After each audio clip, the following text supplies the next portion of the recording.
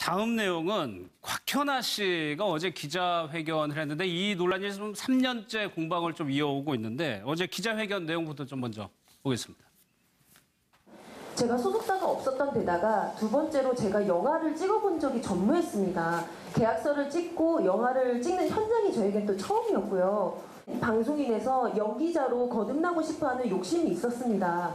저에겐 이제 첫 작품의 감독님이니까 여기에서 내가 뭔가 강하게 정말 저안할 거예요. 뭐 이런 식으로 하고 뭐 이거 그럼 문서로 남겨주세요 얘기했을 때 혹시나 어, 소위 말하는 버릇없어 보인다 아니면 까탈스러운 배우 이런 이미지로 비춰지지 않을까에 대한 두려움이 굉장히 앞섰습니다. 사실 이것이 좀 가장 컸습니다.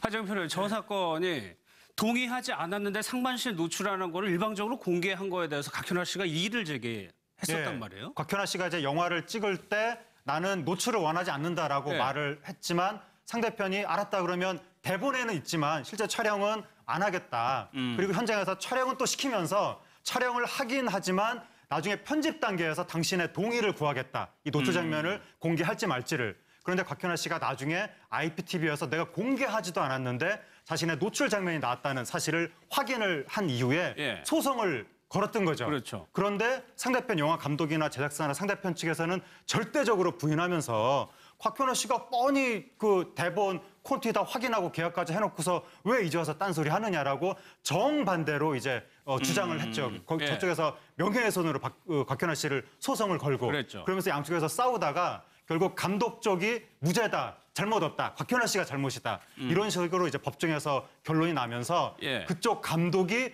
나중에 또 기자회견을 하면서 거의 눈물을 흘리듯이 자신의 억울함을 호소하면서 곽현아 씨가 나한테 엄청난 명예훼손을 해가지고 내가 지금 당하고 있다. 아, 감독도 기자회견 네. 감독이 그렇게 하니까 아. 여론이 완전히 곽현아 씨한테 이제 안 좋게 돌아가면서 아. 곽현아 씨가 사람들이 이제 얘기하기를 아니 딱 봐도 에로 영화구만 왜 거기 출연하기로 약속을 해놓고 나서 이제 와서 딴소리 하느냐라고 사람들이 일제히 곽현아 씨를 이상한 사람 취급하면서 그렇게 되고 있는 상황이었는데 예. 그런데 이제 곽현아 씨가 그동안 말로만 계속해서 녹취록이 있다 녹취록이 있다 말로만 하고 예. 공개를 안 해서 그것 때문에 더 의심을 샀었는데 예. 이번에 기자회견을 하면서 드디어 녹취록까지 공개 하게 된 거죠. 그러면 바로 좀 녹취, 녹취록을 들어보고 이야기를 좀 더 해보도록 하겠습니다. 녹취록 한번 들어보겠습니다.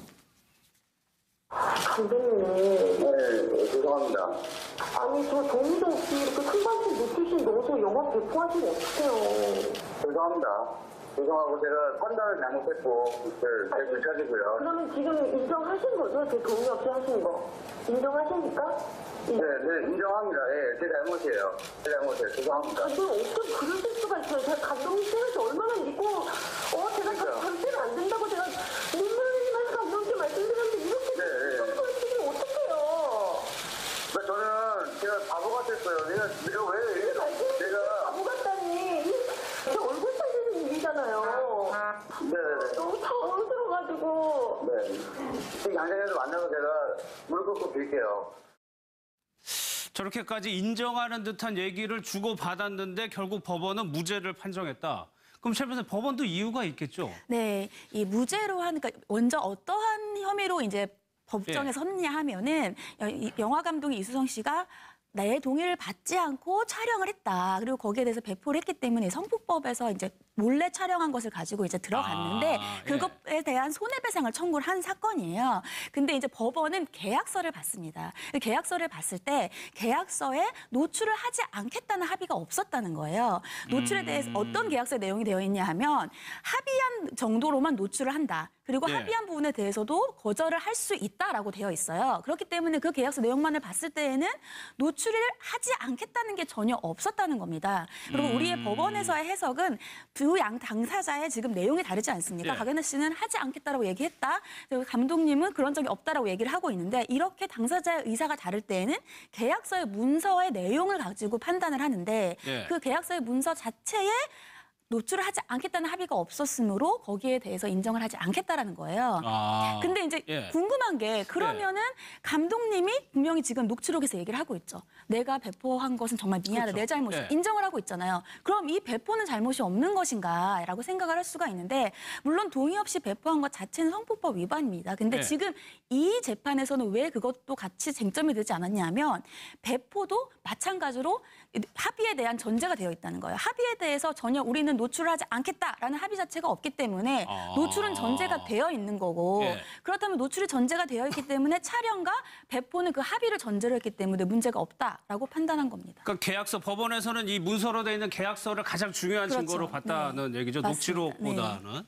그런데 앞서 저희가 곽현아 씨 얘기를 들어봤지만 왜 그러면 이 계약서에 명시를 하지 않았느냐. 이게 곽현아 씨 본인의 책임도 있는 거니까 꼼꼼하지 않았으니까. 근데 거기서 내가 처음은 신인 배우 입장에서 어떻게 할 수 있겠느냐 이렇게 얘기를 한단 자, 말이에요. 그때 당시를 한번 되돌려 보면 곽현아 씨 입장을 알 수가 있을 거예요. 곽- 예. 곽현아 씨는 사실은 개그맨, 개그우먼 출신이거든요. 그렇죠. 개그우먼 출신에다가 사실 어, 자신이 그러니까 개그우먼들이 대개는 좀 뭐랄까요 미모로 미모가 있고 뭐 미- 예쁘고 그럼 개그우먼으로서 지금은 좀 다르지만 성공이 음. 좀 힘들어요 개그우먼 사이에서 예. 그런데 그 와중에 어찌됐든 자신이 어, 엘리트 그러니까 이 뭐 이화 여대를 나왔잖아요. 그래서. 엘리트고 예. 이렇게 그런 것들이 이제 좀 조명이 되면서 스스로 개그계를 나와서 자기가 독립을 선언을 해요. 어떻게든 배우라든지 기타 더 많은 어떤 세계를 경험하겠다라고 선언을 하고 음. 이제 시작을 하는데 막상 영화에 대해서 이제 이, 이 제의가 들어왔을 때 사실 기회가 쉽지 않잖아요. 자기는 언제나 음. 사람들을 웃기는 어떤 이미지의 하나의 여성 그러니까 그 이 연예인인데 예. 이런 기회를 부-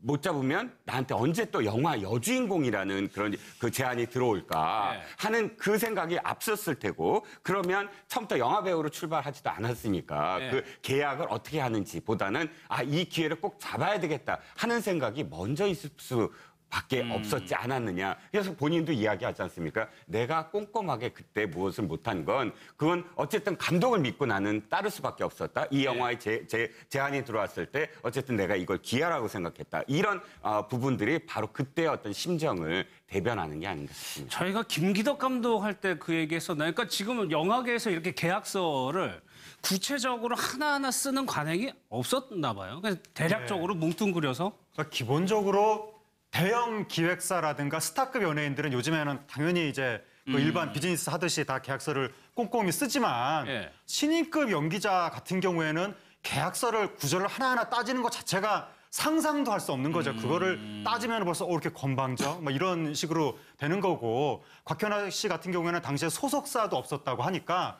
그러면은 아. 거의 그냥 도장 찍는 거지 그거를 읽, 읽어볼 시간도 없을 때가 많고 그냥 예. 딱 주면 찍고 그러니까는 관행이 어떻게 프로세스가 일단 대충 계약을 한 다음에 예. 실제 일 진행 단계로 들어가면 역시 아무도 계약서는 신경 쓰지 않고 그냥 업계 관행에 의거해서 진행이 되는 거지 음. 계약서는 그냥 좀 이렇게 그 상식 아니 저기 뭐야 뭐죠? 그 거칠애로 존재하는 종이 조각 같은 형식적으로? 예, 형식적으로 그런 느낌이 있어서 그, 그런데 갑자기 법원에서 정색을 하고 계약서에 의거해서 모든 거를 판정을 한다고 하면은 예. 그, 현- 그 배우 입장에서는 불리할 수밖에 없다. 그래서 곽현아 씨가 주장을 하는 것이 설사 내가 요번에 나의 어떤 억울함을 법정에서 인정을 못 받는다 하더라도 후배들을 위해서 이 문제를 내가 공론화를 시켜가지고 그 의도로 내가 지금 기자회견을 하는 것이다. 예. 이런 얘기를 하는 건데 저도 감독과 곽현화 씨 사이에서 무슨 일이 있었는지는 알 수 없지만 예. 정황으로 추정을 해보자면 곽현화 씨가 이 영화에 400만 원 받고 출연을 했다고 하거든요. 400만 원. 400만 원. 근데 보통 이제 배우가 두 갈래의 길을 선택을 하게 되는데 예. 하나는 큰 돈 받고 노출하느냐.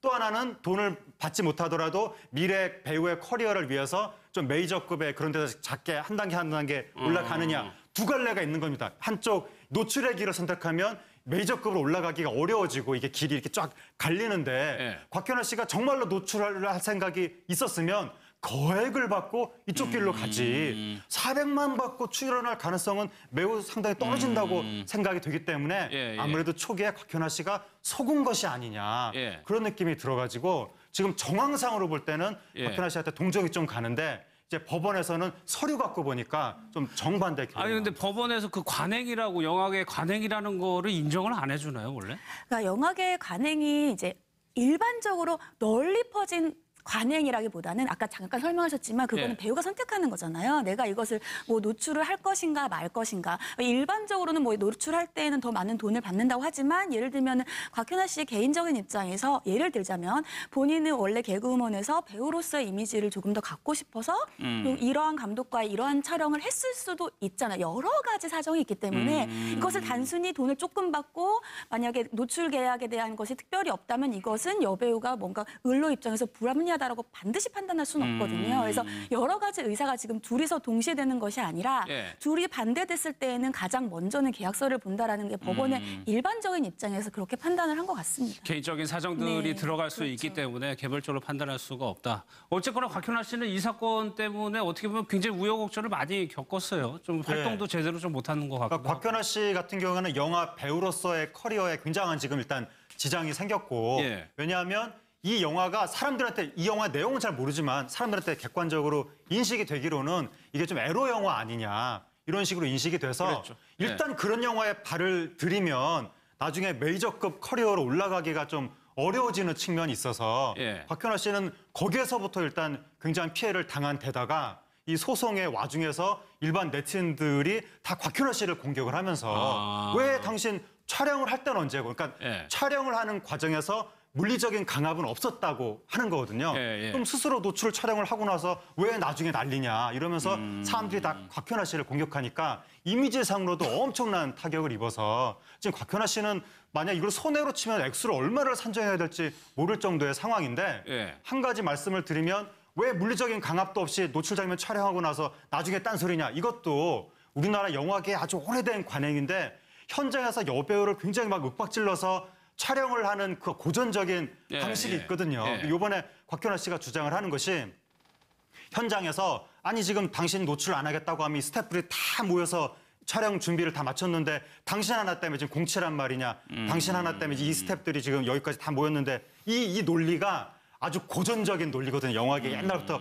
여배우 앞에 세워놓고 너 하나 때문에 지금 다 모였는데 지금 일을 못하게 생겼는데 이러면서 막 야단치면 결국 여배우가 옷을 벗게 되는 되죠. 그 고전적인 논리인데 요번에 또 나왔다고 하니까 예. 이걸 가지고 물리적인 강압이 없이 스스로 합의해서 벗은 거 아니냐라고 사람들이 공격하는 것은 정말 말이 안 된다라고 예. 곽현아 씨 쪽에서는 주장을 하는 거죠. 알겠습니다. 이 두 사람이 좀 민사도 걸려 있다고 해가지고 좀 추이를 더 봐야 될 것 같습니다. 다음 내용으로 좀 넘어가겠습니다.